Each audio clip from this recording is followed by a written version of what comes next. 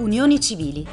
Con il voto finale della Camera, finalmente anche l'Italia si dota di una legge su unioni civili e convivenze di fatto. Un provvedimento per le coppie omosessuali e per le famiglie che si sono formate al di fuori dello schema classico del matrimonio. L'unione civile garantisce un riconoscimento pubblico all'amore che lega due persone dello stesso sesso, dando valore a un sentimento che costruisce progetti e futuro. Pari dignità per tutti i cittadini attraverso un'assunzione di diritti, ma anche di doveri, verso la persona amata. Viene inoltre sanata la frattura apertasi lo scorso 21 luglio, quando la Corte europea dei diritti dell'uomo di Strasburgo condannò il nostro paese per violazione della Convenzione europea dei diritti umani, a motivo della mancanza di protezione legale assicurata alle coppie dello stesso sesso, nell'ambito di una relazione stabile. Le unioni civili, del resto, sono già una realtà.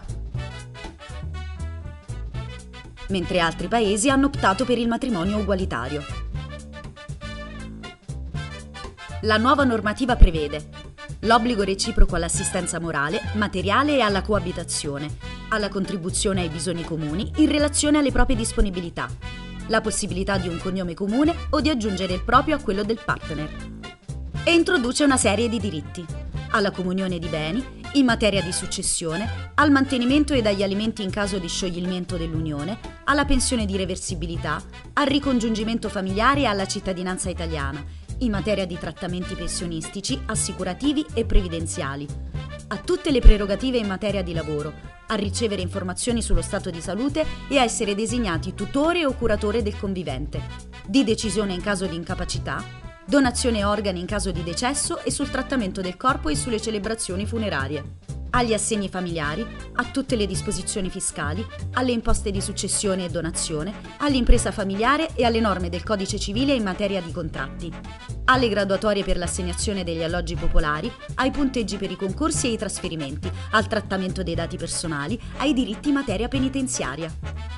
La nuova legge non si rivolge soltanto alle coppie omosessuali, ma disciplina anche la convivenza di fatto fra due persone maggiorenni unite stabilmente da un legame affettivo non vincolato da rapporti di parentela. Anche in questo caso vengono riconosciuti una serie di diritti, fra i quali gli stessi spettanti al coniuge nei casi previsti dall'ordinamento penitenziario, all'assistenza e accesso alle informazioni personali in caso di malattia o di ricovero.